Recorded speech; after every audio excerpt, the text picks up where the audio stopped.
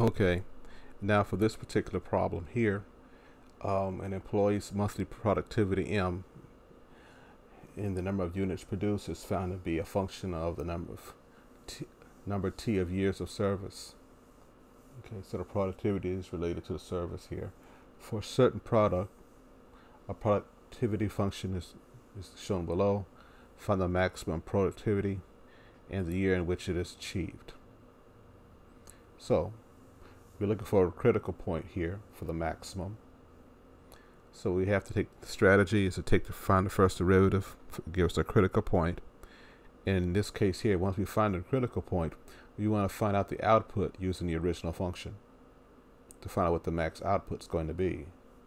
So here we're given our function. So I'll go ahead and I'll find that first derivative of that function to be here. Then I set equal to zero because I know the slope is zero at the max and at the min. So there's my critical point. Okay. Now we use a different rule here.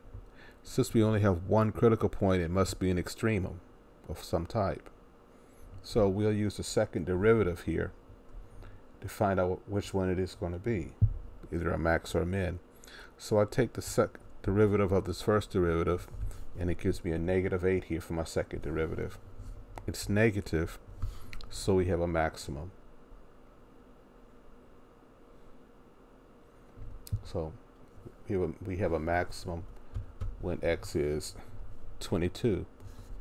And so when I go plug into the original function, the output at that year is two, 2036.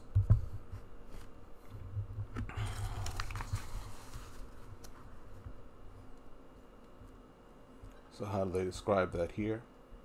Um, therefore, the maximum productivity of 2036 units is achieved in year 22.